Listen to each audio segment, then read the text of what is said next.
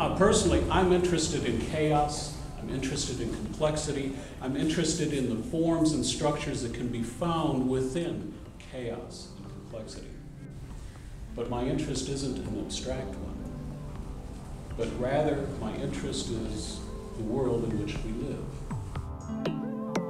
But fractal geometries, well, they're a different animal altogether. They're something like the wild scribbles of a child before the press formal education haven't made its mark. They're fragmented, they're complex, and at times really difficult to describe. Something like a snowflake.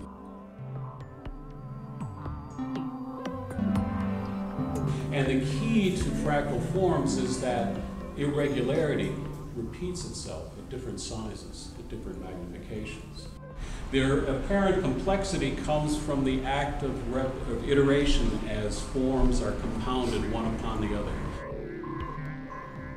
These kinds of geometries, these sorts of processes are in the rhythm of life. But, you know, can you turn down the noise of the world in which we live long enough and pick up the rhythm? Well, that's part of the challenge.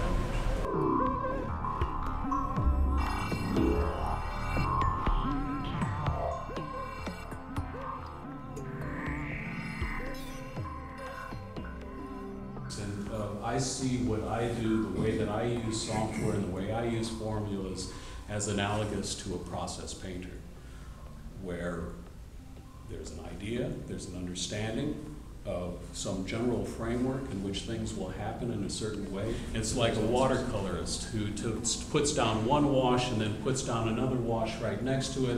What happens between those two washes, no one can ever. It's chaos at work, right?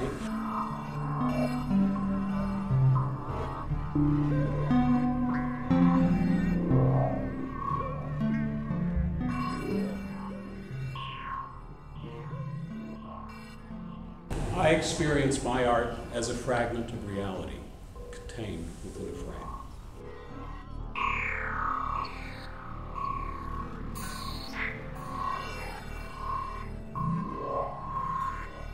I create something that is like the planet on which we're standing. Mm-hmm. And as we travel around this planet, we go from the, the tidal flats of Houston to the mountains of Colorado to the canyons of Utah. The geography varies and changes. It's always different no matter where you go.